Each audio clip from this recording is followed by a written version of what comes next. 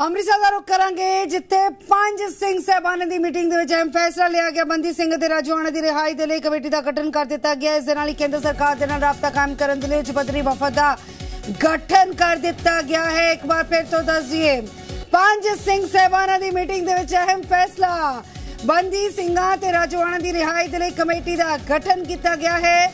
ਕੇਂਦਰ ਸਰਕਾਰ ਦੇ ਨਾਲ ਰਾਬਤਾ ਕਾਇਮ ਕਰਨ ਦੇ ਲਈ ਉੱਚ ਪੱਧਰੀ ਵਫਦ ਦਾ ਗਠਨ ਕੀਤਾ ਗਿਆ ਕਿ ਔਰ ਕਮੇਟੀ ਦੇ ਵਿੱਚ ਐਸਜੀਪੀਸੀ ਦੇ ਪ੍ਰਧਾਨ ਹਰਜਿੰਦਰ ਸਿੰਘ ਧਾਮੀ ਡੀਐਸਜੀਐਮਸੀ ਦੇ ਪ੍ਰਧਾਨ ਹਰਮੀਤ ਸਿੰਘ ਕਾਲਕਾ ਸ਼ਾਮਿਲ ਨੇ। ਕਮੇਟੀ ਦੇ ਵਿੱਚ ਕਮਲਦੀਪ ਕੌਰ ਰਾਜਵਾਨਾ ਜੋ ਕਿ ਬਲਵੰਤ ਸਿੰਘ ਰਾਜਵਾਨਾ ਦੀ ਭੈਣ ਨੇ ਔਰ ਬਲਟੋਹਾ ਵਿਰਸਾ ਸਿੰਘ ਬਲਟੋਹਾ ਸ਼ਾਮਿਲ ਨੇ ਇਸ ਕਮੇਟੀ ਦੇ ਵਿੱਚ ਔਰ ਕੇਂਦਰ ਸਰਕਾਰ ਨੂੰ 31 ਦਸੰਬਰ 2023 ਤੱਕ ਫਾਂਸੀ ਦੀ ਸਜ਼ਾ ਰੱਦ ਕਰਨ ਦੀ ਅਪੀਲ ਕੀਤੀ ਜਾ ਰਹੀ ਹੈ। ਜੇਕਰ ਸਰਕਾਰ ਸਜ਼ਾ ਰੱਦ ਨਹੀਂ ਕਰਦੀ ਤਾਂ ਐਸਜੀਪੀਸੀ ਆਪਣੀ ਅਪੀਲ ਤੇ ਵਿਚਾਰ ਕਰੇ। ਇਹ ਵੀ ਕਿਹਾ ਗਿਆ ਹੈ। ਇਸ ਦੇ ਨਾਲ ਇਹ ਵੀ ਦੱਸ ਕਿ ਰਾਜਵਾੜਾ ਨੂੰ ਆਪਣੀ ਭੁੱਖ ਹੜਤਾਲ ਵਾਪਸ ਲੈਣ ਦੀ ਵੀ ਅਪੀਲ ਕੀਤੀ ਗਈ ਹੈ। ਇਸ ਦੇ ਨਾਲ ਹੀ ਇਹ ਵੀ ਚੇਤਾਵਨੀ ਦਿੱਤੀ ਗਈ ਹੈ ਕਿ ਜੇਕਰ ਸਰਕਾਰ ਤੈਅ ਸਮੇਂ ਫੈਸਲਾ ਨਹੀਂ ਲੈਂਦੀ ਤਾਂ ਜ਼ਿੰਮੇਵਾਰੀ ਫਿਰ ਸਰਕਾਰ ਦੀ ਹੋਏਗੀ।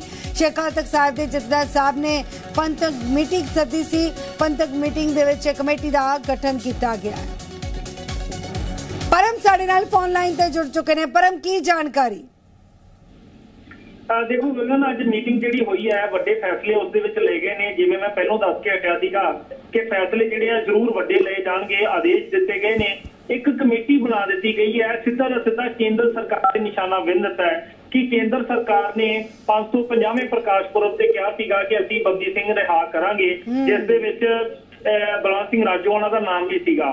ਸੋ ਉਹ ਨੋਟੀਫਿਕੇਸ਼ਨ ਜਿਹੜਾ ਹੋਇਆ ਸੀਗਾ ਉਸ ਨੂੰ ਲਾਗੂ ਕਰਵਾਉਣ ਵਾਸਤੇ ਗਗਨ ਇੱਕ ਮੈਂਬਰੀ ਕਮੇਟੀ ਦਾ ਗਠਨ ਕਰ ਦਿੱਤਾ ਹੈ, ਜਿਸ ਦੇ ਵਿੱਚ ਹਰਜਿੰਦਰ ਸਿੰਘ ਧਾਰਮੀ ਹਰਮੀਤ ਸਿੰਘ ਕਾਲਕਾ, ਪ੍ਰਧਾਨ ਦਿੱਲੀ ਕਮੇਟੀ ਦੇ ਬਰਜਿੰਦਰ ਸਿੰਘ ਹਮਦਰਦ ਹੈਗੇ ਨੇ, ਬੀਬੀ ਕਮਲਦੀਪ ਕੌਰ ਰਾਜਵਾਨਾ ਨੇ ਇਸ ਤੋਂ ਇਲਾਵਾ ਵਿਰਸਾ ਸਿੰਘ ਬਲਟੋਆ। ਇਹ ਜਿਹੜੀ ਮੈਂਬਰੀ ਕਮੇਟੀ ਹੈ, ਇਹ ਜਿਹੜੀ ਹੈ, ਇਹ ਸਿੱਧੇ ਤੌਰ ਤੇ ਉੱਤੇ ਕੇਂਦਰ ਸਰਕਾਰ ਦੇ ਸੰਪਰਕ 'ਚ ਰਹੇਗੀ ਤੇ ਛੇਤੀ ਤੋਂ ਛੇਤੀ ਉਹ ਨੋਟੀਫਿਕੇਸ਼ਨ ਜਿਹੜਾ ਹੈ ਉਸ ਨੂੰ ਲਾਗੂ ਕਰਵਾਉਣ ਵਾਸਤੇ ਕਹੇਗੀ। ਜੇਕਰ ਅਜਿਹਾ ਨਹੀਂ ਹੁੰਦਾ ਤਾਂ 31 ਦਸੰਬਰ ਤੱਕ ਇਹ ਗਗਨ ਟਾਈਮ ਦਿੱਤਾ ਗਿਆ ਚੇਤਾਵਨੀ ਦਿੱਤੀ ਗਈ ਹੈ। ਜੇਕਰ ਅਜਿਹਾ ਨਹੀਂ ਹੁੰਦਾ ਤਾਂ ਆਉਣ ਵਾਲੀ ਜਿਹੜੀ ਵੀ ਸਥਿਤੀ ਬਣੇਗੀ ਉਸ ਲਈ ਸਰਕਾਰ ਹੀ ਜ਼ਿੰਮੇਵਾਰ ਪਰਮ ਇੱਕ ਪ੍ਰੈਸ਼ਰ ਬਿਲਟ ਅਪ ਕਰਨ ਦੀ ਕੋਸ਼ਿਸ਼ ਹੈ ਕੇਂਦਰ ਸਰਕਾਰ ਤੇ ਲੇਕਿਨ ਇਸ ਦੇ ਨਾਲ ਇਹ ਵੀ ਕਿਹਾ ਗਿਆ ਹੈ ਕਿ ਸਰਕਾਰ ਜੇ ਸਜ਼ਾ ਰੱਦ ਨਹੀਂ ਕਰਦੀ ਤਾਂ ਐਸਜੀਪੀਸੀ ਆਪਣੀ ਅਪੀਲ ਤੇ ਫਿਰ ਤੋਂ ਵਿਚਾਰ ਕਰੇ। ਬਿਲਕੁਲ ਬਿਲਕੁਲ। ਗਗਨ ਇਸ ਦੇ ਵਿੱਚ ਵੱਡੀ ਗੱਲ ਇਹ ਹੈ ਦੇਖੋ ਕਿ ਸਰਕਾਰ ਨੂੰ ਪਾਲੇ ਦੇ ਵਿੱਚ ਲਿਆ ਗਿਆ ਜਿਵੇਂ ਤੁਸੀਂ ਕਿਹਾ ਕਿ ਵਾਕਈ ਪ੍ਰੈਸ਼ਰ ਬਣਾਉਣ ਦੀ ਗੱਲ ਹੈ ਕਿ ਵੱਧ ਤੋਂ ਵੱਧ ਪ੍ਰੈਸ਼ਰ ਬਣਾਇਆ ਜਾਵੇ। ਇਸ ਦੇ ਵਿੱਚ ਭਾਈ ਰਾਜੋਆਣਾ ਨੂੰ ਵੀ ਅਪੀਲ ਕੀਤੀ ਹੈ ਕਿ ਉਹ ਆਪਣੀ ਸਿਹਤ ਜਿਹੜੀ ਹੈ ਉਹ ਖਰਾਬ ਨਾ ਕਰਨ। ਅਸੀਂ ਇਸ ਤੇ ਕੰਮ ਕਰ ਰਹੇ ਹੈਗੇ ਆ। ਸੋ ਇਸ ਦੇ ਵਿੱਚ ਵੱਡੀ ਗੱਲ ਇਹ ਹੋਈ ਹੈ ਕਿ ਚੇਤਾਵਨੀ ਦੇ ਰੂਪ ਦੇ ਵਿੱਚ ਇਸ ਨੂੰ ਦੇਖਿਆ ਜਾ ਰਿਹਾ ਹੈ ਕਿ ਜਿਹੜੀ ਸਥਿਤੀ 31 ਦਸੰਬਰ ਤੋਂ ਬਾਅਦ ਬਣੇਗੀ ਉਸ ਲਈ ਸਰਕਾਰ ਜ਼ਿੰਮੇਵਾਰ ਹੋਏਗੀ। ਇਹ ਇੱਕ ਬਿਆਨ ਜਿਹੜਾ ਹੈ ਜੈਦਾਰ ਗਿਆਨੀ ਅ, ਰਘਵੀਰ ਸਿੰਘ ਦਾ ਸਾਹਮਣੇ ਆਇਆ ਜਿਸ ਦੇ ਵਿੱਚ ਅਸੀਂ ਕਹਿ ਸਕਦੇ ਹਾਂ ਕਿ ਸਰਕਾਰ ਤੇ ਵਾਕਈ ਪ੍ਰੈਸ਼ਰ ਬਣਾਉਣ ਦੀ ਜਿਹੜੀ ਕਵਾਇਦ ਹੈ ਉਹ ਹੁਣ ਕਿਤੇ ਨਾ ਕਿਤੇ ਜੈਦਾਰ ਸਰ ਨੇ ਵਿੜ ਦਿੱਤੀ ਹੈ। ਤੇ ਸ਼੍ਰੋਮਣੀ ਕਮੇਟੀ ਹੁਣ ਇਸ ਤੇ ਕੀ ਐਕਸ਼ਨ ਲੈਂਦੀ ਹੈ ਇਹ ਜ਼ਰੂਰ ਦੇਖੋ ਪਰਮ ਪਰਮ ਜ਼ਿੰਮੇਵਾਰੀ ਸਰਕਾਰ ਦੀ ਹੋਏਗੀ ਇਸ ਦਾ ਕੀ ਮਤਲਬ ਹੈ ਕਿ ਸਰਕਾਰ ਅਗਰ ਸਮੇਂ ਸਿਰ ਫੈਸਲਾ ਨਹੀਂ ਲਏਗੀ ਜ਼ਿੰਮੇਵਾਰੀ ਸਰਕਾਰ ਦੀ ਹੋਏਗੀ ਯਾਨੀ ਕਿ ਕੋਈ ਹੋਰ ਵੱਡੀ ਰਣਨੀਤੀ ਉਲੀਕੇ ਜਾਣ ਦੀ ਜਾਂ ਤਾਂ ਤਿਆਰੀ ਹੈ ਜਾਂ ਕੁਝ ਸੋਚ ਕੇ ਬੈਠੇ ਸਭ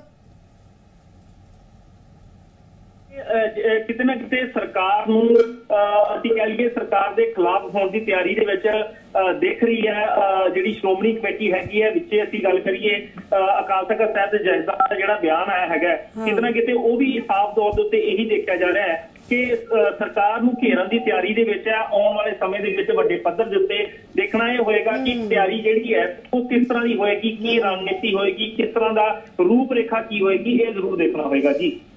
ਲੇਕਿਨ ਇਸ ਦੇ ਵਿੱਚ ਕੋਈ ਦੋਰਾਹੇ ਨਹੀਂ ਹੈ ਕਿ ਹੁਣ ਲੜਾਈ ਜੋ ਹੈ ਵੱਡੇ ਪੱਧਰ ਤੇ ਲਿਖੀ ਜਾਏਗੀ।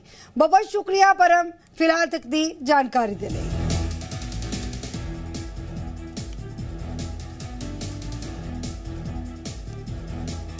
ਵਿਖੇ ਪੰਜ ਸਿੰਘ ਸਹਿਬਾਨਾਂ ਦੀ ਬੈਠਕ ਜਿਹੜੀ ਹੋਈ ਹੈ, ਵੱਡੇ ਆਦੇਸ਼ ਜਾਰੀ ਕੀਤੇ ਗਏ ਨੇ। ਤੁਹਾਨੂੰ ਦੱਸ ਦਈਏ ਕਿ ਭਾਈ ਬਲਵੰਤ ਸਿੰਘ ਰਾਜੋਆਣਾ ਨੂੰ ਲੈ ਕੇ ਆਦੇਸ਼ ਜਾਰੀ ਹੋ ਚੁੱਕੇ ਨੇ, ਮੀਟਿੰਗ ਖਤਮ ਹੋ ਚੁੱਕੀ ਹੈ ਤੇ ਜਿਸ ਦੇ ਵਿੱਚ ਵੱਡੇ ਫੈਸਲੇ ਲਏ ਗਏ ਨੇ। ਸਭ ਤੋਂ ਵੱਡੀ ਗੱਲ ਹੈ ਕਿ ਭਾਈ ਰਾਜੋਆਣਾ ਨੂੰ ਜਿੰਦਾ ਸ਼ਹੀਦ ਜਿਹੜਾ ਹੈ, ਉਹ ਦਰਜਾ ਜਿਹੜਾ ਹੈ, ਉਹ ਕਾਫੀ ਲੰਮੇ ਸਮੇਂ ਤੋਂ ਦਿੱਤਾ ਸੀਗਾ। ਤੇ ਹੁਣ ਜਾ ਕੇ ਇਹ ਗੱਲ ਸਾਫ਼ ਹੋਈ ਹੈ ਕਿ ਜੋ ਕਿ ਕੇਂਦਰ ਸਰਕਾਰ ਵੱਲੋਂ ਇੱਕ ਨੋਟੀਫਿਕੇਸ਼ਨ ਜਾਰੀ ਹੋਇਆ ਸੀਗਾ ਕਿ ਬੰਦੀ ਸਿੰਘਾਂ ਦੀ ਰਿਹਾਈ ਜਿਹੜੀ ਹੈ, ਉਹ ਕਰਵਾਈ ਜਾਵੇ। ਇਸ ਨੂੰ ਲੈ ਕੇ ਇਸ ਨੋਟੀਫਿਕੇਸ਼ਨ ਨੂੰ ਲਾਗੂ ਕਰਵਾਉਣ ਲਈ ਕਮੇਟੀ ਦਾ ਗਠਨ ਕਰ ਦਿੱਤਾ ਗਿਆ ਹੈ। ਵੱਡੀ ਗੱਲ ਹੈ ਕਿ ਕਮੇਟੀ ਦੇ ਵਿੱਚ ਮੈਂਬਰ ਜਿਹੜੇ ਹੈ, ਉਹ ਵੀ ਪਾ ਦਿੱਤੇ ਗਏ ਨੇ। ਜੇਕਰ ਕਮੇਟੀ ਦੇ ਮੈਂਬਰ ਇਹਨੂੰ ਲਾਗੂ ਨਹੀਂ ਕਰਵਾ ਸਕਦੇ ਜਾਂ ਨਹੀਂ ਕਰਵਾ ਪਾਉਂਦੇ ਆਉਣ ਵਾਲੇ ਸਮੇਂ ਦੇ ਵਿੱਚ, ਤਾਂ ਇਸ ਦੇ ਨਤੀਜੇ ਜੋ ਨਿਕਲਣਗੇ, ਜੇਕਰ ਸਰਕਾਰ ਲਾਗੂ ਨਹੀਂ ਕਰਦੀ ਤੇ ਜੇਕਰ ਇਸ ਦੇ ਨਤੀਜੇ ਜੋ ਨਿਕਲਦੇ ਨੇ, ਉਸ ਲਈ ਸਰਕਾਰ ਜ਼ਿੰਮੇਵਾਰ ਹੋਏਗੀ। ਤੁਹਾਨੂੰ ਦੱਸ ਦਈਏ ਕਿ ਸ੍ਰੀ ਅਕਾਲ ਤਖਤ ਸਾਹਿਬ ਦੇ ਜਥੇਦਾਰ ਵੱਲੋਂ ਇੱਕ ਬਿਆਨ ਜਾਰੀ ਕਰ ਦਿੱਤਾ ਗਿਆ ਹੈ ਕਿ ਸਰਕਾਰ ਹੀ ਜ਼ਿੰਮੇਵਾਰ ਹੋਣਗੀ, ਜੇਕਰ ਇਹ ਫੈਸਲਾ ਲਾਗੂ ਨਹੀਂ ਹੁੰਦਾ। ਸ੍ਰੀ ਦਰਬਾਰ ਸਾਹਿਬ ਅਸੀਂ ਖੜੇ ਹਾਂ। ਸ੍ਰੀ ਅਕਾਲ ਤਖਤ ਸਾਹਿਬ, ਤੁਸੀਂ ਦੇਖੋ, ਇਸ ਕਮੇਟੀ ਦੇ ਵਿੱਚ ਵੱਡੀ ਗੱਲ ਹੈ ਕਿ ਭਾਈ ਹਰਜਿੰਦਰ ਸਿੰਘ ਧਾਮੀ ਨੂੰ ਮੈਂਬਰ ਬਣਾਇਆ ਗਿਆ। ਇਸ ਤੋਂ ਇਲਾਵਾ ਹਰਮੀਤ ਸਿੰਘ ਕਾਲਕਾ, ਪ੍ਰਧਾਨ ਦਿੱਲੀ ਕਮੇਟੀ, ਉਹਨਾਂ ਨੂੰ ਬਣਾਇਆ ਗਿਆ ਬਰਜਿੰਦਰ ਸਿੰਘ ਹਮਦਰਦ, ਬੀਬੀ ਕਮਲਦੀਪ ਕੌਰ ਰਾਜੋਆਣਾ, ਸਰਦਾਰ ਵਿਲਸਾ ਸਿੰਘ ਵਲਟੋਹਾ ਜਿਹੜੇ ਹੈ, ਉਹਨਾਂ ਨੂੰ ਬਣਾਇਆ ਗਿਆ ਤੇ ਇਸ ਕਮੇਟੀ ਦੇ ਕੋਆਰਡੀਨੇਟਰ ਪ੍ਰਧਾਨ ਸ਼੍ਰੋਮਣੀ ਗੁਰਦੁਆਰਾ ਪ੍ਰਬੰਧਕ ਕਮੇਟੀ ਦੇ ਹੋਣਗੇ। ਵੱਡੀ ਗੱਲ ਹੈ ਕਿ 31 ਦਸੰਬਰ 2023 ਤੱਕ ਜੇਕਰ ਉਹ ਨੋਟੀਫਿਕੇਸ਼ਨ ਰੱਦ ਨਹੀਂ ਹੁੰਦਾ, ਤਾਂ ਜਿੰਨੀਆਂ ਪ੍ਰ- ਪ੍ਰਤੀਕਿਰਿਆ ਜਿਹੜੀਆਂ ਵੀ ਇੱਥੇ ਪਹੁੰਚੀਆਂ ਨੇ, ਉਹਨਾਂ ਖਿਲਾਫ ਜਿਹੜੀ ਹੈ, ਇੱਕ ਵੱਡੀ ਮੁਹਿੰਮ ਜਿਹੜੀ ਹੈ, ਜੇਕਰ ਛਿੜੇਗੀ, ਤਾਂ ਉਸ ਲਈ ਸਿੱਧੇ ਤੌਰ ਦੇ ਉੱਤੇ ਸਰਕਾਰ ਜ਼ਿੰਮੇਵਾਰ ਹੋਏਗੀ। ਯਾਨੀ ਕਿ 31 ਦਸੰਬਰ 2023 ਤੱਕ ਦਾ ਸਮਾਂ ਦੇ ਦਿੱਤਾ ਗਿਆ ਹੈ ਕਿ ਜਿਹੜਾ ਨੋਟੀਫਿਕੇਸ਼ਨ ਕੇਂਦਰ ਸਰਕਾਰ ਵੱਲੋਂ ਬੰਦੀ ਸਿੰਘਾਂ ਦੀ ਰਿਹਾਈ ਨੂੰ ਲੈ ਕੇ ਦਿੱਤਾ ਗਿਆ ਸੀਗਾ। ਤੁਸੀਂ ਦੇਖਿਆ ਹੋਣਾ ਕਿ ਸ੍ਰੀ ਗੁਰੂ ਨਾਨਕ ਦੇਵ ਜੀ ਦੇ ਪ੍ਰਕਾਸ਼ ਪੁਰਬ 550ਵੇਂ ਪ੍ਰਕਾਸ਼ ਪੁਰਬ ਨੂੰ ਸਮਰਪਿਤ ਇੱਕ ਨੋਟੀਫਿਕੇਸ਼ਨ ਜਾਰੀ ਹੋਇਆ ਸੀਗਾ, ਜਿਸ ਦੇ ਵਿੱਚ ਰਿਹਾਈ ਦੀ ਗੱਲ ਜਿਹੜੀ ਹੈ ਕੇਂਦਰ ਸਰਕਾਰ ਵੱਲੋਂ ਕਹੀ ਗਈ ਸੀਗੀ ਤਾਂ 31 ਦਸੰਬਰ 2023 ਜਿਹੜੀ ਹੈ ਲਾਸਟ ਡੇਟ ਦੇ ਦਿੱਤੀ ਗਈ ਹੈ। ਜੇਕਰ ਇਦੋਂ ਤੱਕ ਨੋਟੀਫਿਕੇਸ਼ਨ ਲਾਗੂ ਨਹੀਂ ਹੁੰਦਾ, ਤਾਂ ਸਰਕਾਰ ਜ਼ਿੰਮੇਵਾਰ ਹੋਵੇਗੀ। ਜੇਕਰ ਜਿਹੜੇ ਵੀ ਹਾਲਾਤ ਆਉਣ ਵਾਲੇ ਸਮੇਂ ਦੇ ਵਿੱਚ ਪੈਦਾ ਹੋਣਗੇ, ਇਹ ਜਥੇਦਾਰ ਸਾਹਿਬ ਦਾ ਕਹਿਣਾ ਹੈ। ਸਿੱਧੇ ਤੌਰ 'ਤੇ ਚੇਤਾਵਨੀ ਜਿਹੜੀ ਹੈ, ਉਹ ਕੇਂਦਰ ਸਰਕਾਰ ਨੂੰ ਦਿੱਤੀ ਹੈ ਕਿ ਆਉਣ ਵਾਲੇ ਸਮੇਂ ਦੇ ਵਿੱਚ ਜਿਹੜੇ ਵੀ ਹਾਲਾਤ ਬਣਦੇ ਨੇ, ਉਸ ਲਈ ਸਰਕਾਰ ਜ਼ਿੰਮੇਵਾਰ ਹੋਏਗੀ ਨਹੀਂ ਤਾਂ 31 ਦਸੰਬਰ ਤੱਕ ਜਿਹੜੇ ਤੁਸੀਂ ਬਿਆਨ ਦਿੱਤੇ ਨੇ, ਜਿਹੜੇ ਨੋਟੀਫਿਕੇਸ਼ਨ ਜਾਰੀ ਕੀਤੇ ਨੇ, ਉਸੇ ਤਹਿਤ ਬੰਦੀ ਸਿੰਘਾਂ ਦੀ ਰਿਹਾਈ ਜਿਹੜੀ ਹੈ, ਉਹ ਕੀਤੀ ਜਾਵੇ।